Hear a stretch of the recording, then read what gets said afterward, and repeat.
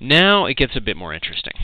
Those were kind of warm-up examples. The next thing is f is a vector field that I usually like to call G. It's vaguely analogous to gravity, but it's in two dimensions.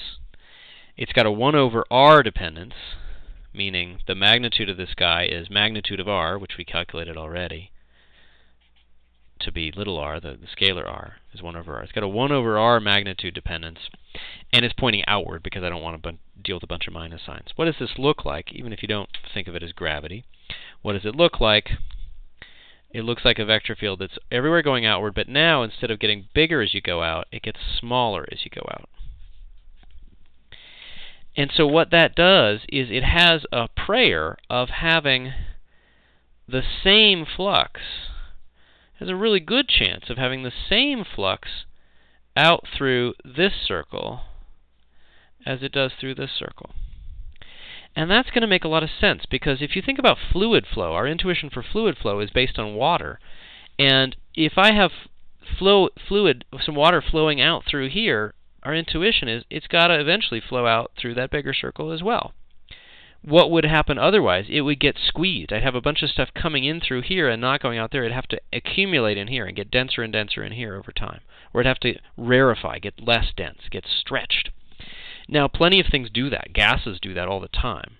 Um, but water does not. And so it turns out that this is going to be a model of water flowing.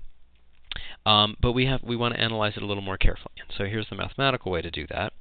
The first thing is to calculate the left-hand side of, of the divergence theorem.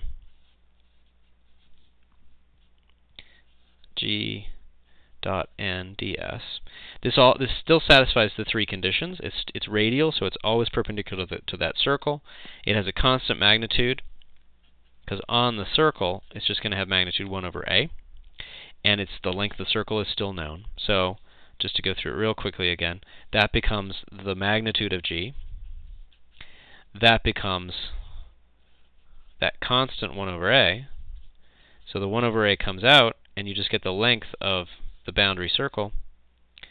1 over a, that's that fat, that's coming from the fact that the errors are getting smaller as you go out, times 2 pi a, that's coming from the fact that the circle's getting bigger as you go out, and those cancel, and we always get the same number 2 pi.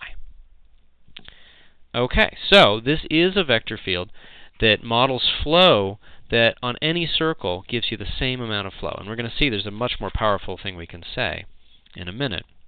Now, three, uh, number three, I asked you to calculate the divergence of this guy.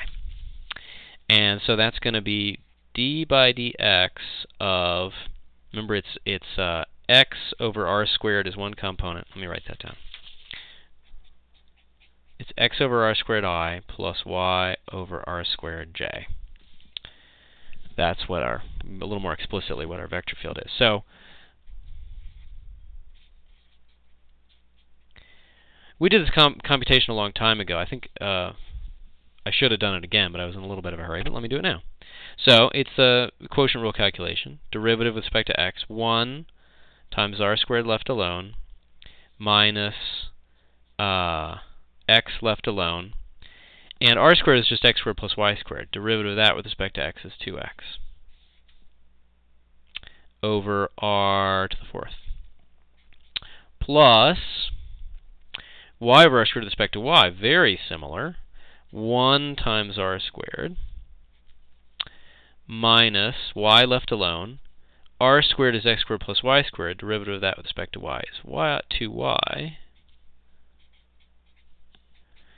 And so I get 2r squared minus 2x squared from here minus 2y squared. Hey, that is 0. That's a very pretty result, but immediately it's a very disturbing one. Because if the divergence theorem applied to our disk D, then we'd have 2 pi on the left-hand side. That was the integral, that was the flux over the boundary. That's supposed to be the integral of the divergence. But the integral of the zero function is just 0. Well, that's not true. And what's going on is, uh, we've seen this, with the with the vortex vector field in circulation is that I keep wanting to show you that, but it doesn't show up very well. Um,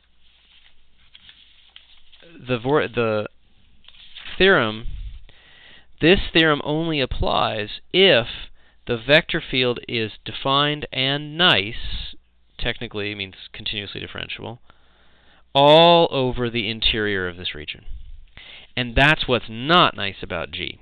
G was defined as r over r squared. That denominator vanishes at, at r equals 0. And remember, the magnitude of this guy was 1 over r. Even the magnitude, just looking at that, it gets it goes haywire. This gets infinitely large as you go towards the origin. And so you cannot apply the divergence theorem directly to the whole disk around the origin.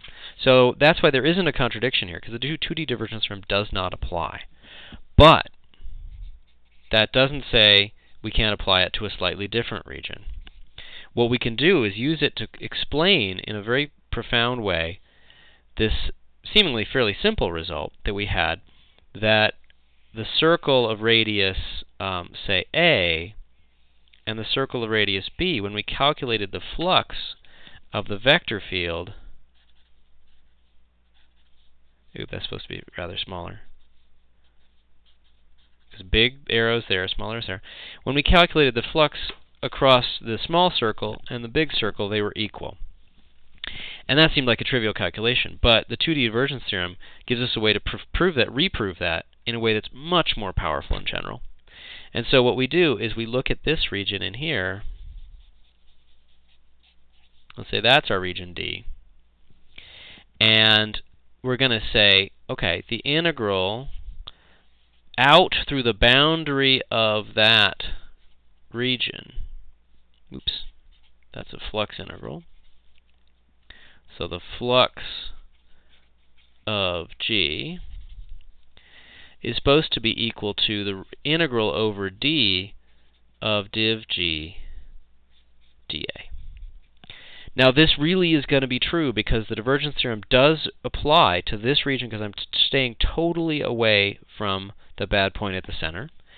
And we've calculated the divergence of g with a little bit of, of just simple uh, calculations with partial derivatives. That's known to be zero. What that says physically is there's no little bits of sources or sinks here. There's no places where fluid is created or it's expanding, and there's no places where it's destroyed. It's something you can really think of as being like water flowing. It's incompressible. And so this guy is going to be 0. Well, why does this show what we wanted to show? It's because the boundary of D is its outer boundary with the usual outward orientation, going away from the origin, and so let's call that CB. That's the flux of G through there, plus the flux through an inner the inner boundary. But here, we've got to take the direction where it's actually going away from D. Now that's inward towards the origin because it's an inner boundary. So I could either say that's going to be CA with the opposite orientation. Well, that's a very wordy way to say it the way you actually do it is you say, let's just call that minus CA, minus the circle. And an even better way to do it is to say, okay, when I switch the orientation, I'm just going to end up switching the answer. And so now the integral that's this is now the outward flux. That's just the standard version of CA, as if I didn't pay attention to the fact that it was an inner boundary. And so that says the flux outward through CA minus uh, is is the same as because these guys uh, the difference is zero. Their difference is zero, and so the flux outward through CA is the same as the flux outward through CB. So that's another way to show that those guys must be the same. And in the next video, we'll see why that's so much more powerful than our previous demonstration.